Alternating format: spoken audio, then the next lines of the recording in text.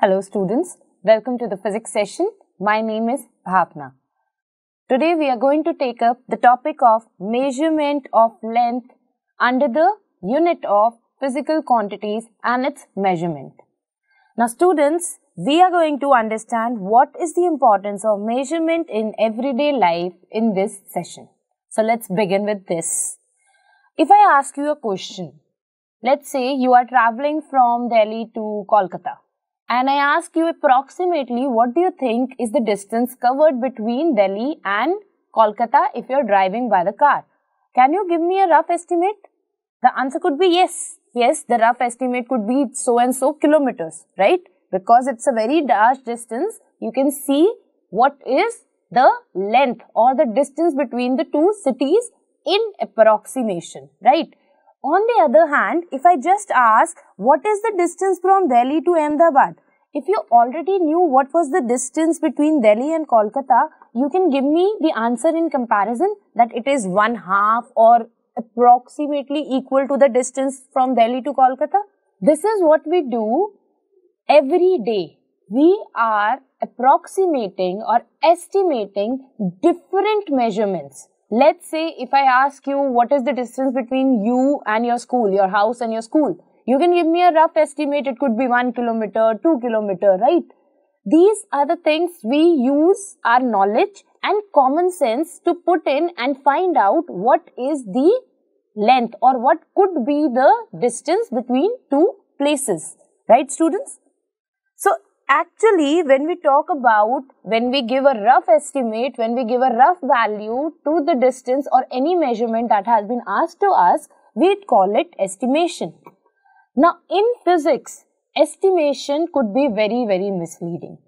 Because when you are doing some calculation and your values are not accurate but estimated, there is a very big probability that things may go very wrong.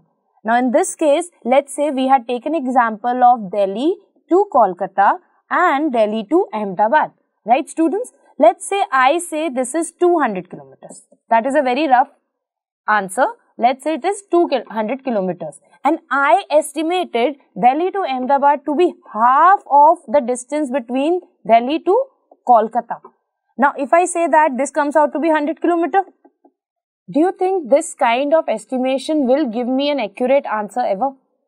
The answer would be wrong. To be more accurate, we use specific tools in physics. We are going to learn about those tools in this session. Okay, students, let's move forward and first understand what do we mean by the term of measurement. Measurement is defined as the comparison of an unknown quantity the previous case, when we were considering the example of Delhi to Kolkata and Delhi to Ahmedabad, we were saying Delhi to Ahmedabad is a unknown quantity, while Delhi to Kolkata is a known quantity. So, measurement is defined as the comparison of an unknown quantity with some known quantity. Now, this known quantity has to be accurate. If my unknown quantity itself is inaccurate, my comparison will be more inaccurate, right? So, this is very important when we talk about measurement, we talk about accuracy. Fine students, let's just revise the definition we just penned down. How do we define measurement? Measurement is defined as the comparison of an unknown quantity with some known quantity. Okay students, now, we use measurement every day. We already discussed that we use measurement estimating things. What could be the distance? What could be the length? What is the time? We are estimating measurement every day. And we do not get to know how it is related to physics. Let's just take some of the examples that we do in everyday life and we do not actually understand we are measuring. Have you ever gone to a tailor just to get your clothes stitched or your school uniform stitched. When you go to a tailor, that person first measures you. Like that person takes your measurement using a measuring tape.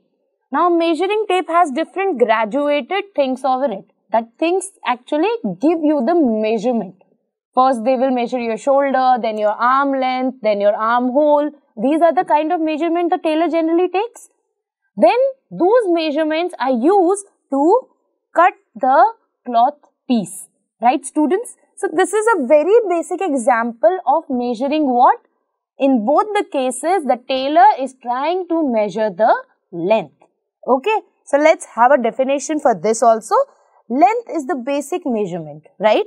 And measuring tape is used as a tool to measure length. So this is one example that how we are measuring different things in our everyday life. Let's move to another example. Let's say you have a picnic. You have a picnic coming in your school and your school bus leaves at 7 a.m. Now, obviously, if your school bus leaves at 7 a.m., you have to be in the school before 7 a.m., right? Now, if you have to reach the school before 7 a.m., you have to wake up even more early because you have to do your daily routine in the morning. So, let's say when you have to reach the school at 7 a.m., you put an alarm for 5 in the morning and you wake up at 5. Then you go, you freshen up, you brush your teeth, you take a bath and then you dress up. You dress up nicely because you're going to a picnic, right? So, at 5, slowly and slowly the time passes and it is 6 a.m. Now, your school is will be at some distance from your house. It will take some time to reach that place. So, as you are going to your school, the time is passing and at 7, what will you do? Your bus will leave. So in this students, you are actually measuring time.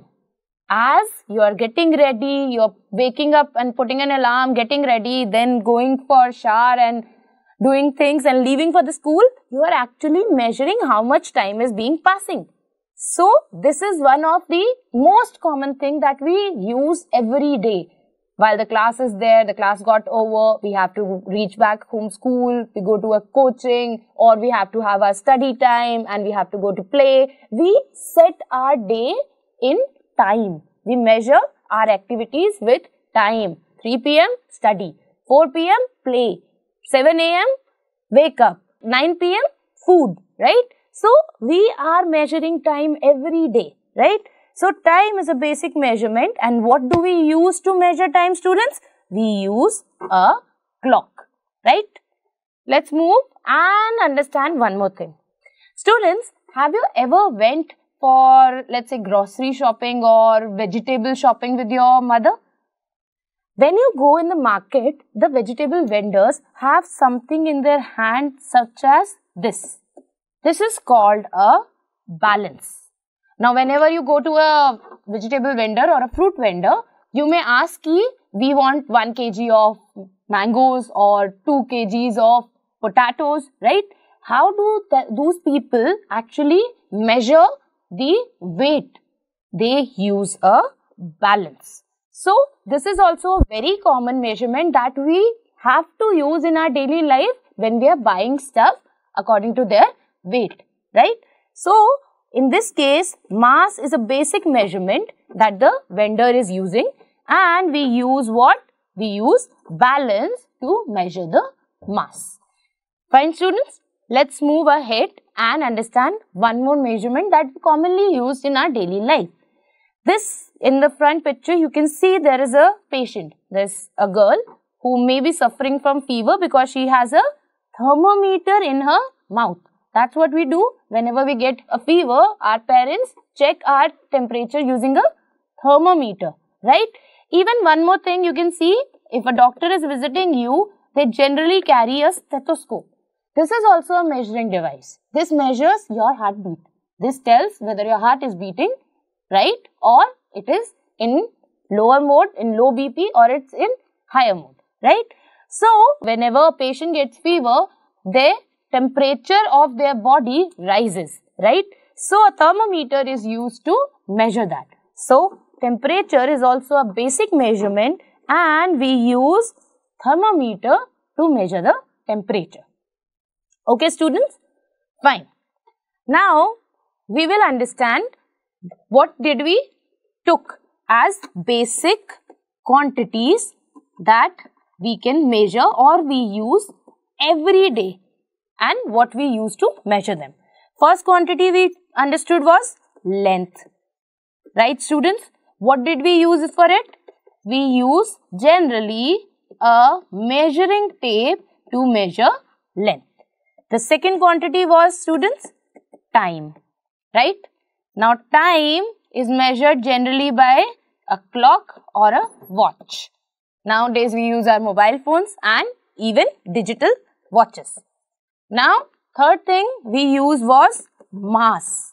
When you go out and buy vegetables or any product that has weight uh, written on it, we call it, we are measuring the mass, right? So mass can be measured using a balance, right students? And the fourth thing we understood was temperature. Now temperature is measured using thermometer. Okay students, now these are some of the basic quantities that we measure every day and we use some basic tools to measure them, right? For the while we will focus ourselves on measuring the length, okay?